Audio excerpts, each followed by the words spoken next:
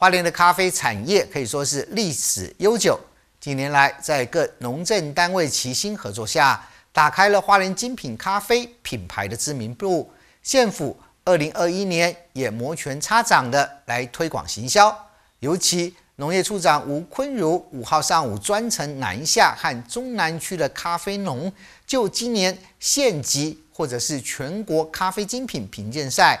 产业研习辅导等事宜进行了讨论，并且听取了基层咖啡农民的心声。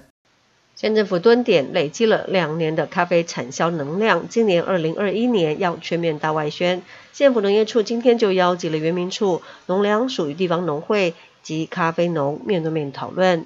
有不管是讲在在前几年或怎么样，我相信很多的咖啡农都愿意，很多的农民都愿意来。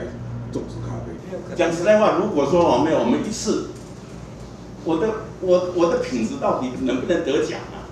能不能能不能名列前茅啊？所以说，我对我们这个瑞穗的咖啡很有信心。通过精品咖啡评鉴赛事的办理及参与，提升咖啡生产技术品质与产销推广。然而，不论县级或者全国赛，缴交九斤或二十五斤参赛豆的资格，对花莲接属小规模生产的咖啡农来说门槛过高，更遑论打团体战的方式来出征全国赛。如果说刚才的方案 A、方案 B 这些数据来讲，你看分析变大了以后。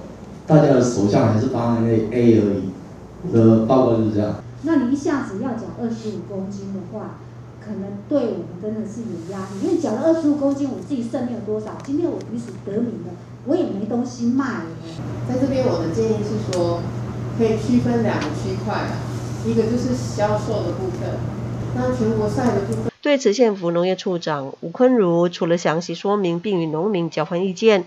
就县级与全国赛的参赛规定条件，吴坤如也将在与中央提案讨论。会建议中央啊，就维持大概是现呃，我们这边现在维持三公三公斤，但是在全国的部分是八公斤的部分。另外，包括了咖啡生产技术的提升、农机资材的补助，乃至于展售推广、行销等等。县政府也听取咖啡农的需求，加强协助辅导，让花莲的咖啡产业也能在台湾甚至国际咖啡市场上占有一席之地。记者石玉兰瑞穗采访报道。